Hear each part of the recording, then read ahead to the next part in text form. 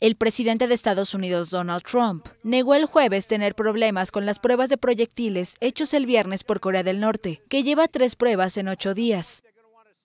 Misiles de corto alcance, nosotros nunca hicimos un acuerdo en eso. No tengo problema, veremos qué pasa, pero son misiles de corto alcance, son muy estándar.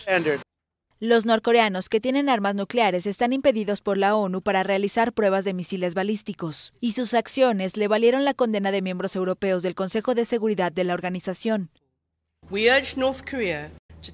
Urgimos a Corea del Norte que concrete los pasos hacia una completa, verificable e irreversible desnuclearización y a entablar negociaciones significativas con Estados Unidos, según lo acordado entre el presidente Trump y Kim Jong-un el 30 de junio.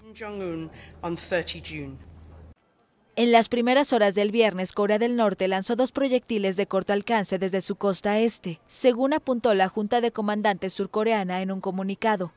Hace dos días, Seúl describió otros disparos del norte como dos misiles balísticos de corto alcance, pero Pyongyang dijo que fueron un nuevo tipo de cohete.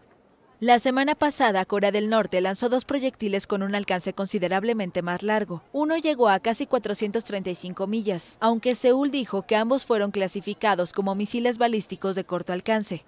Corea del Norte pide la cancelación de los simulacros militares planeados entre Washington y Seúl, que comenzarán la semana próxima, pero el gobierno de Estados Unidos afirmó que seguirán adelante. Corea del Norte aún no ha acordado renunciar a ninguna de sus armas nucleares y Washington ha insistido en que las sanciones en su contra deben mantenerse.